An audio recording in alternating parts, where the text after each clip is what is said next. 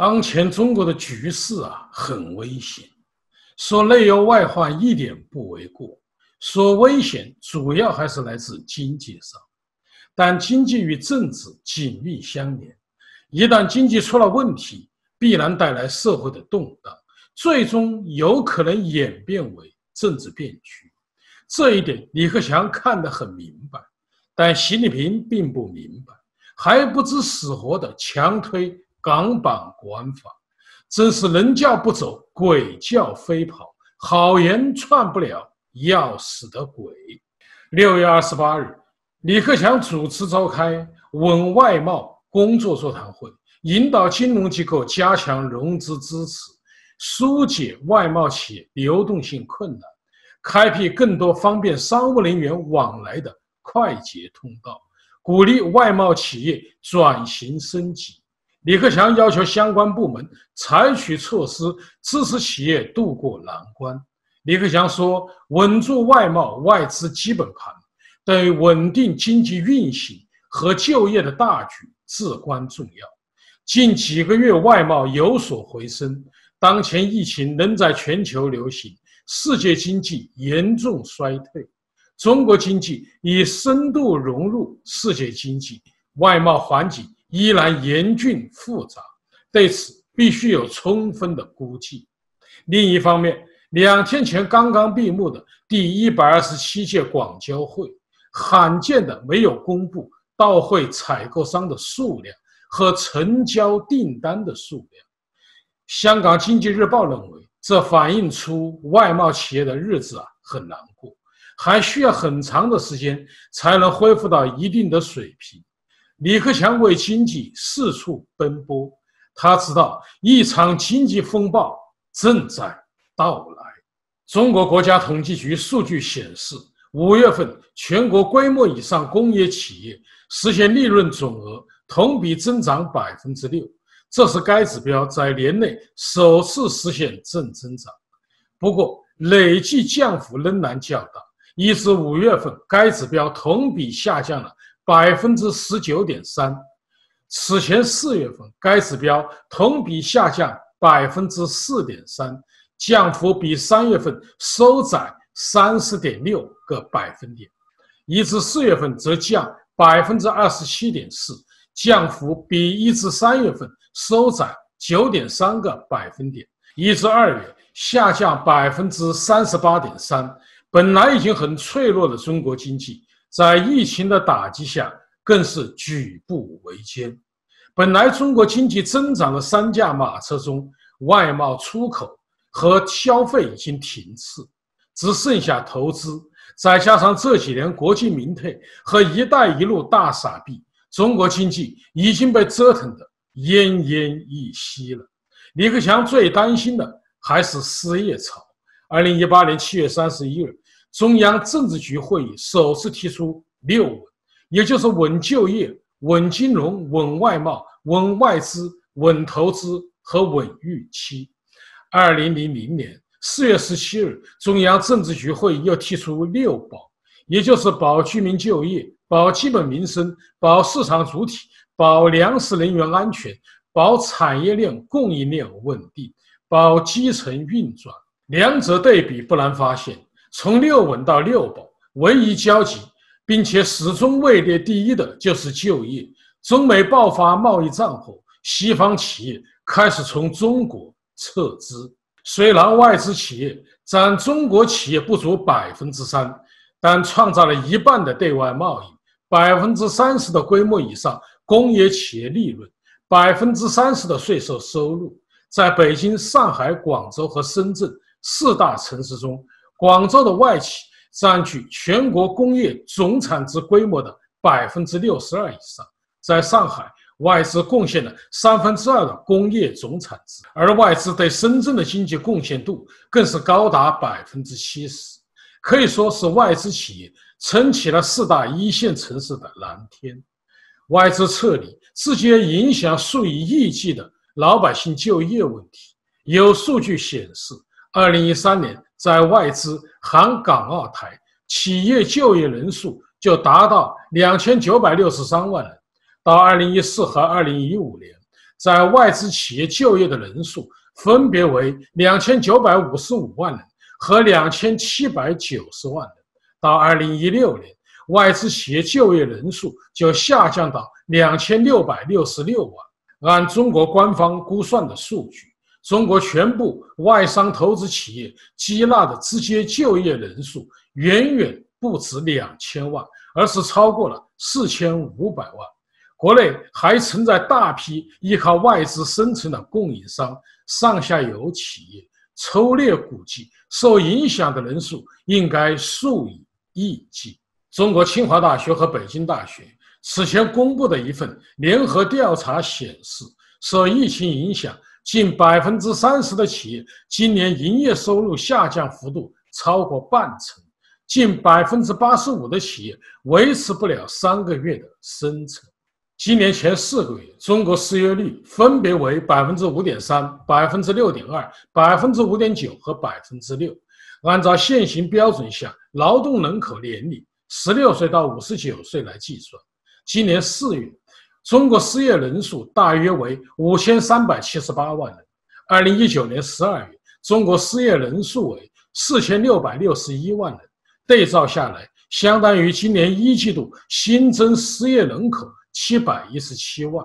更严峻的是，七月到八月毕业季将至，八百七十四万应届毕业生将面临史上最难就业季。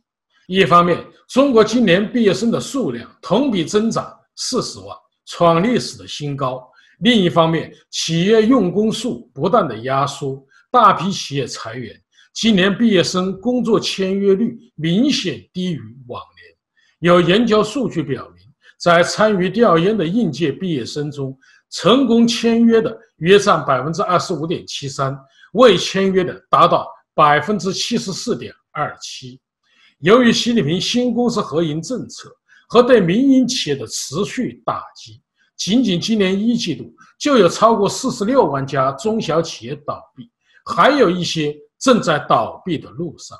数据显示，目前中小企业贡献了中国近百分之五十的税收、百分之六十的 GDP、百分之七十的技术创新和百分之八十的就业。向松作教授认为。企业家信心不足是经济加速下行的关键原因。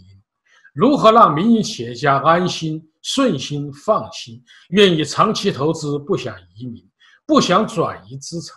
这个必须从法治制度上真正妥善保障私有产权，保重民营企业家各项权利，才能实现。二零一九年，中国 GDP 是一百万亿，人口十四亿。人均 GDP 七点一四万人民币，折合美金为一万零两百七十六美元。按照世界银行二零一七年公布的最新标准划分，人均 GDP 在一千零六美元至三千九百五十五美元，属于下中等收入经济体；在三千九百五十六美元至一万二千二百三十五美元之间，属于上中等。收入经济体超过一万二千二百三十六美元，属于高收入国家。据此，中国在二零一九年已经迈入上中等收入经济体。但中国是一个人口众多的发展中国家，人均年收入是三万元人民币，但是有五点六亿人每个月月收入只有一千元，相当于百分之四十的人口，只占。百分之十七的收入，而这五点六亿人当中，还有两点八亿，也就是百分之二十，月收入远远低于一千元，只有五百三十七元。如何尽快提升就业率，是中国政府的燃眉之急。李克强提出了地摊经济，也是迫不得已。但即使这样，地摊经济没活几天，还是被习近平给浇灭了。中国面临如此严重的经济危机，按理说只能吃补药，不能吃泻药。但习近平又采取了一个自杀举动，那就是摧毁香港国际金融中心地位。根据中国新华社报道，六月二十八日开幕的十三届全国人大常委会第二十次会议在北京举行，其中一个重要的议程就是审议。和表决通过港版国安法草案。莫非中共真有沉船计划，不把中国经济整熄火不罢休？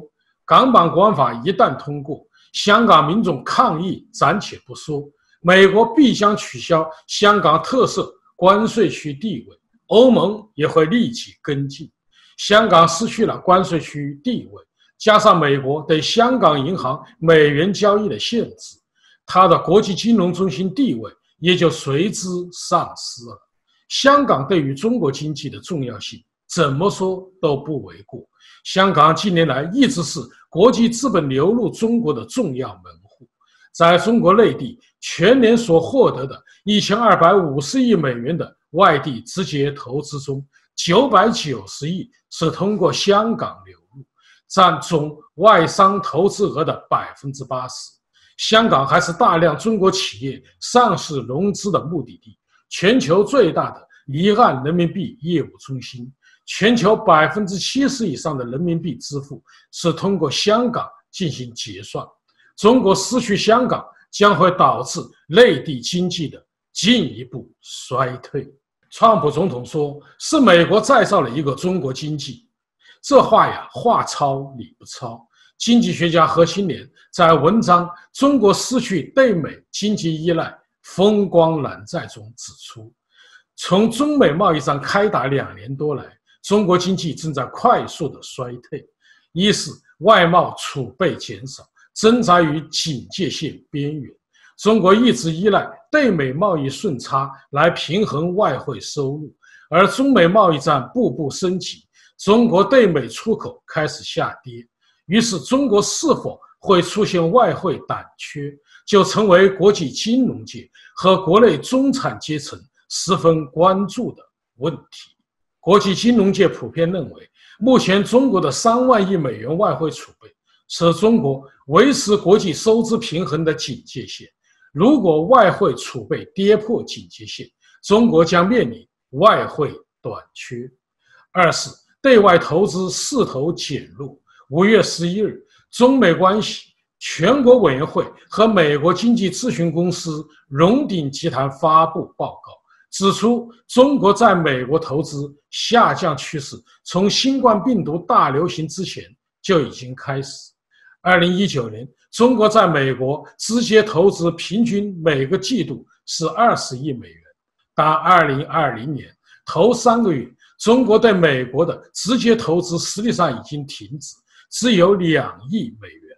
三是人民币被九个主要国家剔除货币互换协议，新冠疫情席卷全球，各国因封国而在实体经济领域被区隔开来。但这种实体经济去全球化现象，反而导致对美元需求更加强烈，以致出现了美元荒。为解决这个问题。三月十九日，美国与韩国、澳大利亚、巴西、墨西哥、新加坡、瑞典等央行签订了规模分别为六百亿美元的货币互换协议，与丹麦、挪威、新西兰央行签署了规模各为三百亿美元，期限至少为六个月，到二零二零年九月十九日为止。作为国际货币基金组织。列为全球五大储备货币的人民币根本就不在这个协议网络之中。中国当然也闻出了其中危险的味道。四月下旬，中国央行推出了数字货币，宣称这是全球第一大主权数字货币，将挑战美元霸权，但没有。全球金融体系霸主美国的背书，这种数字货币算是中国的自娱自乐。就中国的经济危机，中国央行前副行长吴晓玲女士曾经发出警告，那就是中国人要做好经济泡沫破灭的准备了。她在清华大学金融学院说：“中国人在经济泡沫中狂欢的日子已经不多了。”做好潮水退去后的准备，是每个国家每个人都要面对的现实。中国资产泡沫越来越大，不只是房地产，其他行业也出现了泡沫化现象，尤其是金融行业。当资产泡沫积累到一定的程度就会破裂，其结局就是呼啸而来的金融风暴。世界上从来没有一个国家可以依靠货币放水、土地垄断、政治因素所促成的房地产盛宴支撑起经济的长远发展。当实体经济凋敝，外资企业纷纷逃离，这片土地最终只会增加更多的失业人口，在饥寒和绝望中挣扎。危机的发生可能就像灰犀牛一样。突然扑到你的面前，当你察觉的时候，或许一切都晚了。经济学家高尚文曾经感叹道：“我老了，也财务自由了，静观其变。三十岁以下的年轻人最可怜。如果国家这次走错了路，这辈子啊，也就只能洗洗睡了。”好，各位观众朋友，今天的节目到此，感谢您的收看。